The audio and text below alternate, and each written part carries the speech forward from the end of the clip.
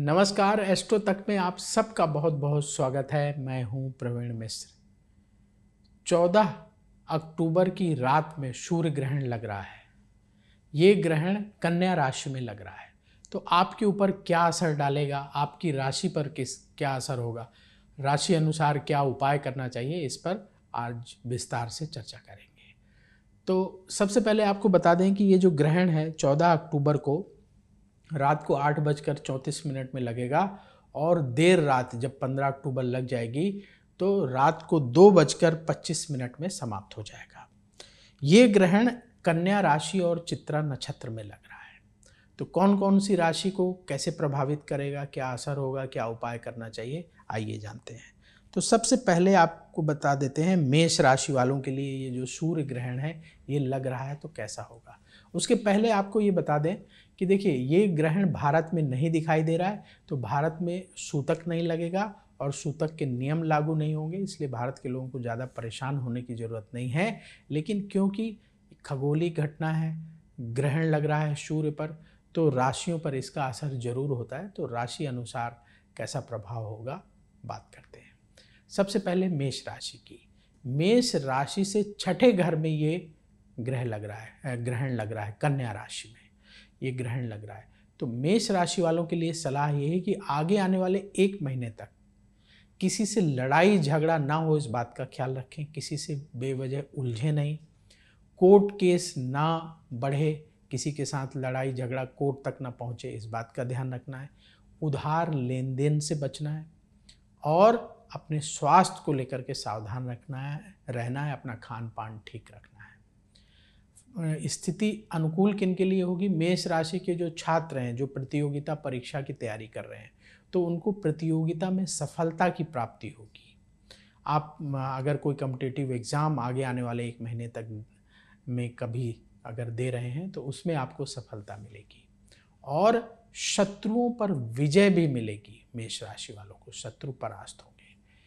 तो इन सब बातों का ध्यान रखना है और सावधान होकर के पूरा महीना आपको चलना है। उपाय क्या करें जिससे कि परेशानी कम से कम हो? तो मेष राशि वालों को ग्रहण के बाद जब ये ग्रहण समाप्त हो जाएगा, सुबह देर रात दो बजकर पच्चीस मिनट में तो उसके बाद अगले दिन पंद्रह तारीख से नवरात्र भी शुरू हो रहे हैं तो सुबह आप जो है स्नान करके किसी गरीब को गुड़ का दान कर दें। कम से कम एक किलो गुड़ का दान कर दें तो अच्छा रहेगा। और नियमित रूप से आगे आने वाले एक महीने तक प्रतिदिन हनुमान चालीसा पढ़ते रहें तो आपके लिए इस ग्रहण से कोई नेगेटिव फल नहीं बनेंगे। बारी आ गई अब वृष राशि की। वृष राशि से पाँचवें घर में ये ग्रहण लग रहा है।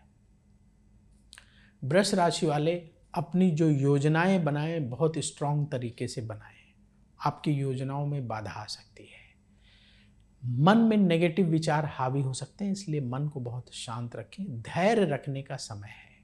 और कार्य क्षेत्र में, खास करके यदि आप कोई प्रॉपर्टी खरीदना चाहते हैं, अगर आप कोई इन्वेस्टमेंट करना चाहते हैं तो बहुत सावधानी से सोच समझ के आपको करने की सलाह दी जाती है। संतान से सपोर्ट मिलेगी। घर की जो परेशानियाँ हैं, वो दूर होंगी। तो बहुत ज़्यादा नेगेटिव इफ़ेक्ट आपके लिए नहीं रहेगा। बस थोड़ा सा अलर्ट रहने की आवश्यकता है। उपाय क्या करें? वृष राशि वाले पंद्रह तारीख को अगले दिन सुबह स्नान करके किसी गरीब को एक किलो चावल का दान करें तो आपके लिए बहुत शुभ होगा। बारी आ गई अब मिथुन राशि की। मिथुन राशि से चौथे घर में ये ग्रहण लगने जा रहा है। तो मिथुन राशि वालों के लिए सलाह ये है कि आप ही की मिथुन राशि का स्वामी बुद्ध होता है और कन्या राशि का स्वामी बुद्ध होता है। कन्या राशि में ये ग्रहण लग रहा है। बुद्ध वहीं बैठे हुए हैं, कन्या राशि में। सूर्य भी बैठे हैं, चंद्रमा भी बैठे हैं। तो आपके लिए सलाह ये कि मन में बेवजह की बेचैनी ना बढ़ने दें। हर किसी के प्रति नकारात्मक विचार ना रखें। पॉजिटिव सोच के साथ काम करने का समय होगा। बड़े फैसले अभी आगे आने वाले एक महीने तक ना करें, खासकर प्रॉपर्टी ना खरीदें। घर वालों से, रिश्तेदारों से किसी बात को लेकर के उलझन ना होने पाए इस बात का। ख्याल रखें। बाकी करियर आपका ठीक होगा, ऐसी कोई परेशानी नहीं, आने वाली है। उपाय क्या करना है? स्नान करके अगले दिन सुबह पंद्रह तारीख को किसी गरीब को हरे फल का दान कर दें। जैसे आपको इस समय संतरा मिल जाएगा मौसमी मिल जाएगी। तो किसी गरीब को दान करेंगे तो बहुत शुभ होगा। बारी आ गई अब कर्क राशि की। कर्क राशि का स्वामी चंद्रमा और सूर्य दोनों कन्या राशि में बैठे हुए हैं। अमावस्या के दिन ये ग्रहण लग रहा है और कर्क राशि से तीसरे घर में लग रहा है। सलाह यह है कि आगे आने वाले पंद्रह दिनों तक जल्दबाजी में भी कोई फैसला ना करें। जो भी डिसीज़न लेना है, अपने परिवार से, अपने शुभ चिंतकों से सलाह लेकर के करना है और मन में बेवजह के उलझन वाले विचार नहीं संजोने। मन को शांत रखना है। कर्क राशि वालों के लिए सलाह ये है कि किसी के भरोसे कोई काम ना छोड़ें। जो भी काम करना है, खुद करना है और अगर आप खुद नहीं कर पा रहे हैं तो उसकी निगरानी प्रॉपर तरीके से करते रहना है। क्योंकि अगर किसी के भरोसे छोड़ेंगे तो हो सकता है आपका काम बिगड़ जाए या नुकसान हो जाए। कर्क राशि वालों, लंबी दूरी की यात्रा से आगे आने वाले पंद्रह दिनों तक बचें। उपाय क्या करें? स्नान करने के बाद किसी गरीब को एक किलो दूध का दान पंद्रह तारीख को कर दें तो आपके लिए अच्छा रहेगा। बारी आ गई अब सिंह राशि की। सिंह राशि वालों के लिए सलाह ये आपकी राशि से दूसरे घर में कन्या राशि में सूर्य ग्रहण लग रहा है। तो सिंह राशि वालों की सलाह ये है कि सूर्य ग्रहण के बाद पंद्रह तारीख को आपको जो दान बता रहे हैं वो कर दीजिएगा और अपनी वाणी पर विशेष रूप से नियंत्रण रखिएगा। पहली सलाह, वाणी पर नियंत्रण रखें। दूसरा, जो लोग एजुकेशन से जुड़े हुए हैं, आलस्य ना करें अपनी पढ़ाई में। छात्रों के लिए खास करके सलाह है, जो कम्पिटिटिव एग्ज़ाम देने वाले हैं, उनके लिए सलाह है कि आलस्य ना करें। प्रॉपर्टी से संबंधित कोई भी डिसीज़न प्रॉपर्टी खरीदना, बेचना, उससे संबंधित काम आगे आने वाले एक महीने तक ना करें तो सिंह राशि वालों के लिए अच्छा रहेगा। आपकी वाणी आपके शत्रु बना सकती है, घर वालों से मतभेद बढ़ा सकती है, इसलिए वाणी का बिल्कुल संतुलित उपयोग करें, कम से कम बोलें तो बहुत अच्छा रहेगा। मानसिक तनाव बढ़ सकता है तो वो बढ़ेगा, आपके व्यवहार की वजह से तो अपना व्यवहार विनम्र रखिएगा। उपाय क्या करें? स्नान करने के बाद पंद्रह तारीख की सुबह किसी गरीब को एक किलो गुड़ का दान करें और आप हनुमान चालीसा पढ़ें और प्रतिदिन भगवान सूर्य को अर्घ दें तो बहुत शुभ होगा।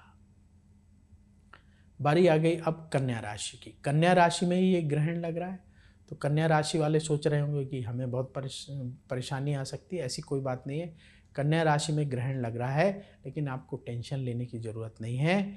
ये सूर्य ग्रहण ऐसा नहीं कि आपको बहुत परेशान करेगा। आगे आने वाले कुछ दिनों तक, खास करके एक महीने तक, तीस दिनों तक ज़्यादा उतावलापन ना दिखाएँ बार बार एक ही बात को ना दोहराएँ, चाहे आप ऑफ़िस में काम करते हैं या घर वालों से भी वही वही बात ना बोलें। थोड़ा धैर्य रखें, मन में बेचैनी रहेगी, लेकिन बेचैनी को बेचैनी को कंट्रोल करें, धैर्य रखने का समय है। बड़े फाइनेंशियल डिसीज़न नहीं लेना है, कोई बड़ा लोन नहीं लेना है, उधार लेन देन से आगे आने वाले एक महीने तक बचना है। स्वास्थ्य का विशेष रूप से ख्याल रखना है, अपना खान पान ठीक रखिए मेडिसिन ले रहे हैं तो समय पर लेते रहिए। उपाय क्या करना है? स्नान करके सुबह पंद्रह अक्टूबर को आप हरे रंग के फल जैसे नाशपाती है और मौसमी है, संतरे जो ग्रीन कलर के हैं, वो ये किसी गरीब को दान करें या आप गौ माता को हरा चारा भी खिला सकते तो ये उपाय कर लें कन्या राशि वाले कोई डरने की ज़रूरत नहीं है। बारी आ गई अब कन्या के बाद तुला राशि की। तुला राशि वालों के लिए कैसा रहेगा ये ग्रहण? देखिए तुला राशि वालों को बिल्कुल भी परेशान होने की ज़रूरत नहीं है। आपकी राशि से बारहवें घर में ये ग्रहण लग रहा है तो अपने खर्चों को कंट्रोल में रखिएगा। खर्चे अचानक बढ़ सकते हैं। तो खर, खर्चों को बजट में बाँध के रखना है लंबी दूरी की यात्रा से बचना है आगे आने वाले एक महीने तक और कोशिश ये करना है कि आपका खान पान ना बिगड़े, स्वास्थ्य का ख्याल रखना है। खर्चे, स्वास्थ्य और यात्रा, इन तीन चीज़ों का आपको ध्यान रखना होगा। बाकी टेंशन लेने की ज़रूरत नहीं है तुला राशि वालों को। और कोशिश करें कि धार्मिक एक्टिविटीज़ करें, जैसे पूजा पाठ घर में करें, नवरात्र शुरू हो गया, नौ दिनों तक माँ दुर्गा की प्रतिदिन जो है आप आरती करिए, दुर्गा चालीसा का पाठ करिए, किसी मंदिर जाइए दर्शन करने। इसमें अगर आप समय बिताएँगे तो पॉजिटिविटी बढ़ेगी और ग्रहण का नेगेटिव प्रभाव आपके ऊपर हावी नहीं हो पाएगा। उपाय क्या करना है? पंद्रह तारीख को स्नान करके किसी गरीब को एक किलो चीनी का दान सुबह सुबह करें तो बहुत अच्छा रहेगा। बारी आ गई है वृश्चिक राशि की।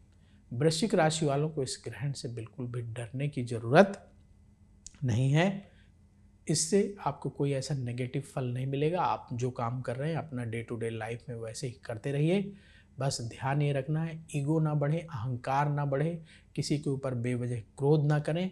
किसी बात को लेकर अड़े रहना घर परिवार में वो उचित नहीं होगा। उसकी वजह से काम डिले हो सकते हैं, लोगों से मतभेद बढ़ सकता है। उपाय क्या करें? वृश्चिक राशि वाले लाल रंग के फल का दान पंद्रह तारीख को स्नान करके किसी को करें। बारी आ गई अब धनु राशि की।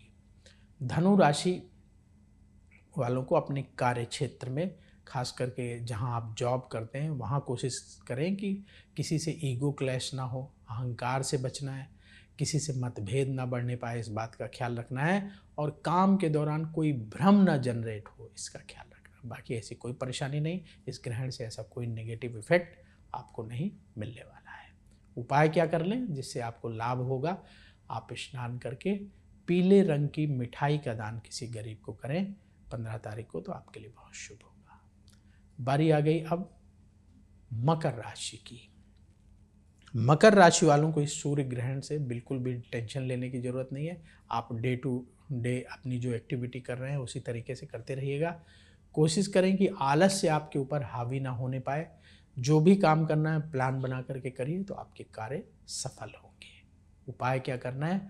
प्रतिदिन भगवान शिव को जल अर्पित करें और नमः शिवाय मंत्र का जाप करें तो आपके लिए बहुत बढ़िया होगा।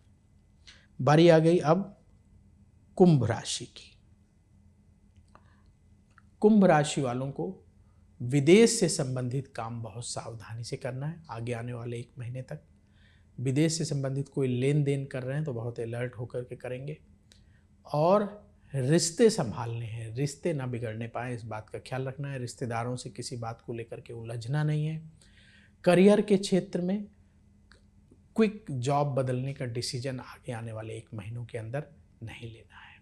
शांत मन से फैसले करने हैं। उपाय क्या करें? कुंभ राशि वाले स्नान करके 15 अक्टूबर को किसी गरीब को एक किलो दूध का दान करें तो आपके लिए बहुत शुभ होगा। बारी आ गई अब मीन राशि की। मीन राशि वालों के लिए ये ग्रहण कोई ऐसा नेगेटिव इफ़ेक्ट लेकर के नहीं आ रहा है। बस आपको अपने मन को स्थिर रखना है, मन में बेचैनी ना बढ़ने दें, लोगों से बहस ना करें। शांत रहिए, बात सुनिए, जो बात समझ में आती है उसका जवाब दीजिए, जो नहीं समझ में आ, आती तो कोई बात नहीं। डिसएग्री हो सकते हैं, लेकिन उसे बढ़ाना नहीं है, लड़ाई झगड़े में कन्वर्ट नहीं करना है। दूसरा, हर काम सावधानी से करना है डबल चेक करना है, इसके बाद फैसले करना है। और कोई टेंशन लेने की आवश्यकता नहीं है, अपने स्वास्थ्य का ख्याल रखें, अपना खान पान ठीक रखें। उपाय क्या करें? मीन राशि वाले स्नान करके पीले रंग के फल का दान किसी गरीब को करें पंद्रह अक्टूबर को। तो ये उपाय कर लीजिए तो आपकी टेंशन दूर हो जाएगी। तो बारह राशियों का हमने बताया फलित कि ग्रहण का कैसा फल होगा ये ग्रहण भारत में नहीं दिखाई दे रहा है तो इसलिए भारत के लोगों को ज़्यादा ग्रहण के दौरान टेंशन लेने की ज़रूरत नहीं है। कोई भी ग्रहण के नियम भारत में लागू नहीं होंगे। लेकिन क्योंकि खगोली घटना है, ज्योतिष के हिसाब से कन्या राशि में ये ग्रहण लग रहा है तो राशियों पर इसका असर होगा। क्या कैसा असर होगा, हमने आपको बताया।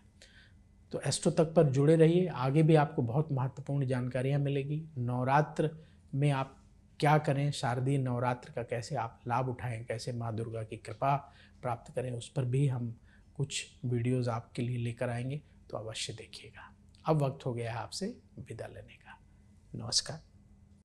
एस्ट्रो तक ऐप पर आपको मिलेगा भविष्य से जुड़े हर सवाल का जवाब। डाउनलोड कीजिए एस्ट्रो तक ऐप और चुटकी में जुड़िए इंडिया के बेस्ट एस्ट्रोलॉजर से।